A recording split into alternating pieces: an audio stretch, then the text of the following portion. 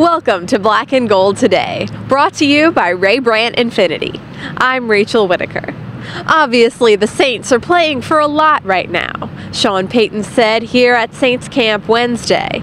Good news though, Khiry Robinson is practicing again with a brace on his arm.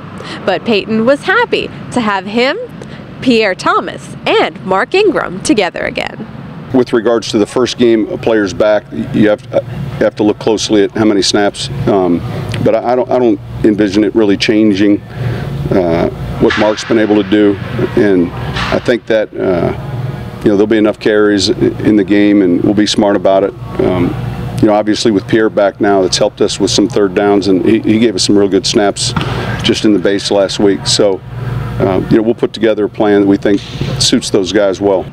Drew Brees said having all three backs challenges defenses. Ingram is approaching 800 yards this season, averaging four and a half per carry. No matter who's back there, I know this. I, I feel I feel very comfortable, and um, I think Mark has done a tremendous job here over the last six weeks. You know, in Pierre's absence, Khiry's absence, and you know to, to have a healthy backfield now is, is, is great. And Brees described Payton uniquely today. See what he said when we come back. Affordable luxury is here at the Ray Brandt Infiniti Pre-Owned Center. Over 100 of the world's finest luxury cars and trucks are on sale. Infiniti, Acura, BMW, Mercedes-Benz, Lexus, Porsche, Land Rover, Jaguar, and more, all within reach. And special low luxury financing rates makes it easy to buy. Affordable luxury is here at Ray Brandt Infiniti of Metairie Pre-Owned Center, 3700 North Causeway Boulevard, Metairie. Welcome back. Here's what Drew Brees told us about Sean Payton's game day demeanor, sure to be seen Sunday against Carolina.